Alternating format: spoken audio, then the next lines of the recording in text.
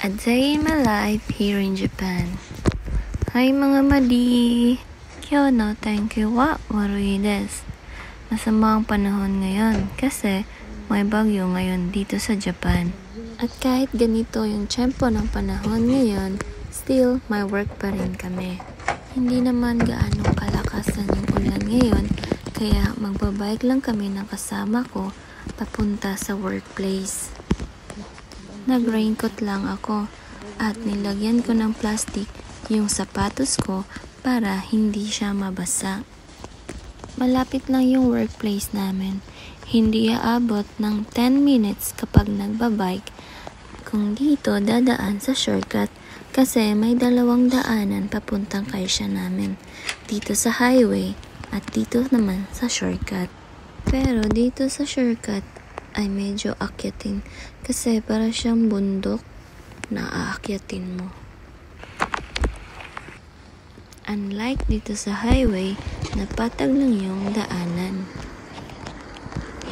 Pero kapag naglalakad naman, it takes 15 to 20 minutes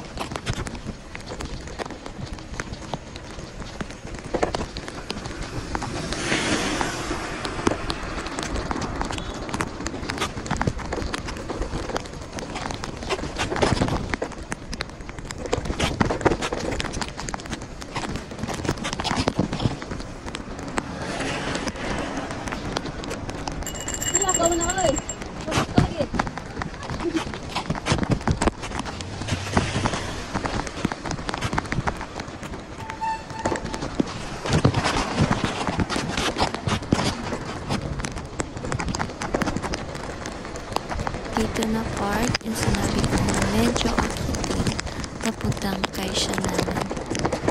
Kaya lang, minadya ko, taran!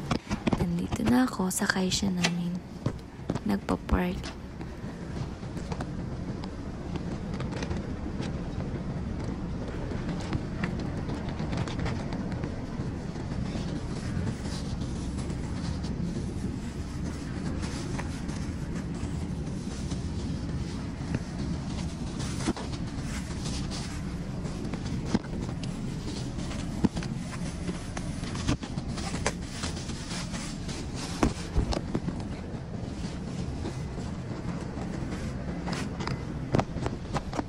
Atas na.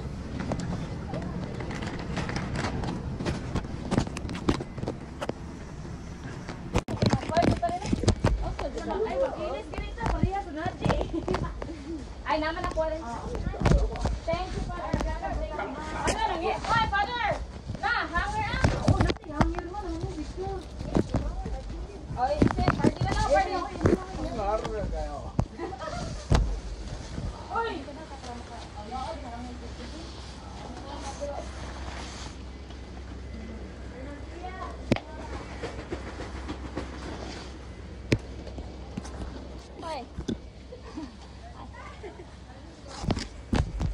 din.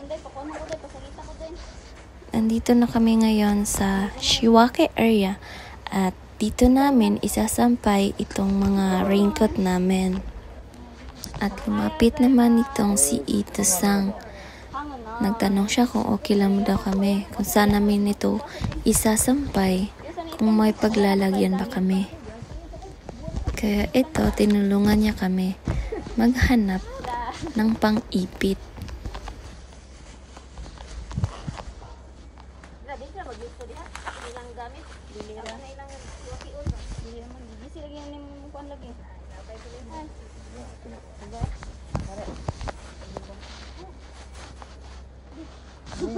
俺の見事なあれだろう Eh, Sabi niya, okay lang daw ito dito ipitin. Tinanong ko siya, mamaya baka may malakas na hangin at lilil pa rin tong raincoat namin. Kaya ito, tinignan niya mabuti. Kung lili pa rin nga ba. At nang hinawakan niya naman, nahulog. Ayun. Sabi niya, abunay daw. Kaya dun, sa unahan, sinampay na lang niya.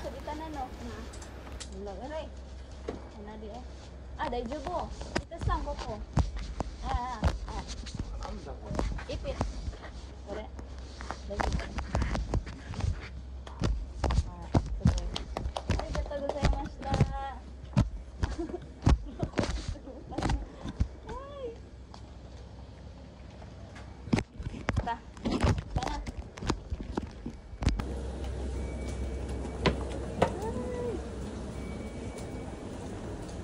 Sa na oras?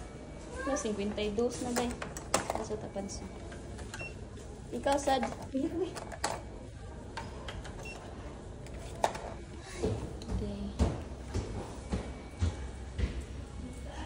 8.30.